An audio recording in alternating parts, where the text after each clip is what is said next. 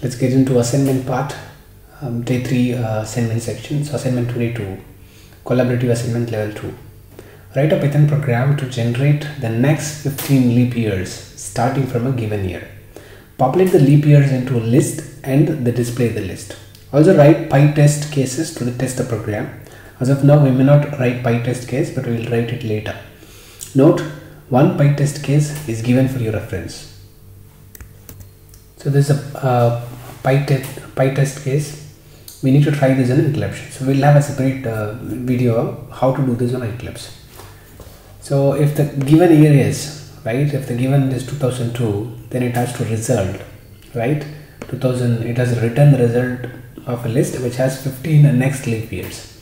So 2004 is a leap year 8, 12, 16, 20, 24, 28, 32, 36, 40, 44, 48. 52 56 2000 so we need to write test cases like this. It's uh, basically it's writing a test case to check the value. So if the current value is this assert result when it has to ensure that the following function test to find leap year returns these many values. Let's quickly get into the code. So that's what it has. It has um, find leap years of 2000 so we know that it is a function. Find leap years is a function then uh, the value whichever value it is going to return it is about to be stored in list of leap years so basically list of leap years is a list because they have clearly mentioned populate the leap years into a list and display the list. So it is a basically a list and finally we print the list. So let's get into the find leap year method. So we need to have a empty list since they already have given list of leap years right? It is a list name. Uh, this list name this list name both are different. If you like to have a different name you can have. There's nothing wrong in it. Let's say um, only list because we cannot use the keyword list. It is an inbuilt function so going to use list. Return list. So for that we need to create a empty list. This will help us to create empty list. So they very clearly said we need to have next 15 leap years. So given year is 2000 so it, we have to return the next uh, 15 leap starting from 2004 so every time you see something you get a leap year then you'll have to put it in the list. Then second time again if you see a second leap year after four years you'll have to put it in the list. You'll have to keep doing this. So we'll have to keep doing it this way. Say for example if it says 2004 is a leap year yes it will be it has to add it into this.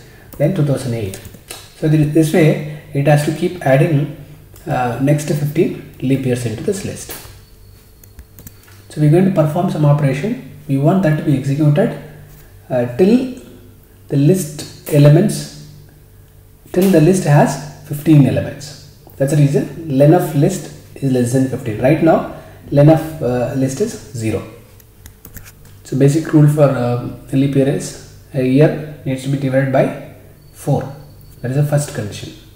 If the year is not divided by 4 then we can very clearly say it is not leap year. Right? That is why the else part we given given year plus equal to 1 so given year is equal to given year plus 1 so if it is a year is 2000 then it becomes 2001 so we are not performing any operation. So we'll check if the next year is leap year or not. But if a year is divisible by um, 4 then we also need to check whether the year is divisible by 100 the if the given year is divisible by 100 divisible by 4 then divisible by 100 then we, we also need to check that whether the year, is divisible by 400 so if it is checked year is divisible by 4 divisible by 100 then it also needs to be divisible by 400 then we know that it is uh, leap year. So we append this year to the list then we increment the year value by 1 so you might be wondering why uh, all you have studied was should have been uh, if year is divisible by 100 4 then it's a leap year but there are cases where this condition alone will work. We also need to check whether it is divisible by 100 or 400 so this ensures that no leap year is missed in between.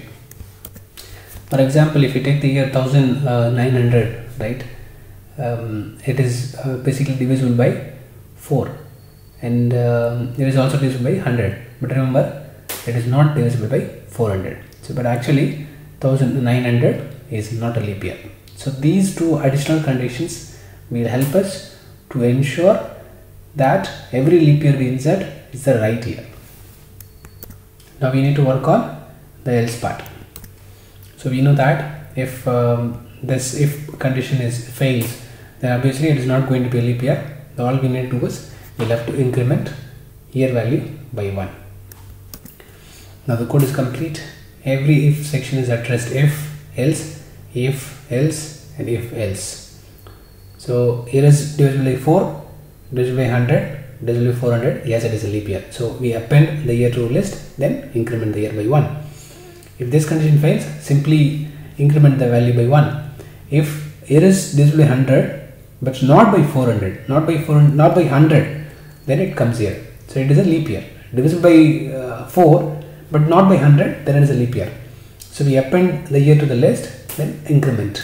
If the year is not divisible by 100, then no doubt it is simply we move on. It is not a leap year. Then we return the list and let's say execute this. So it returns all the next 15 leap years. So you may give uh, verify this using year 2002. They have given a test case also. From it starts from 2004. Both 2000 and 2002 gives the same result, but they have given a test case starting from uh, given given here as a 2002. We tested tested this, so it matches. For now, the verification is not working. That's the reason I have given this here. But there's a valid code which we can use.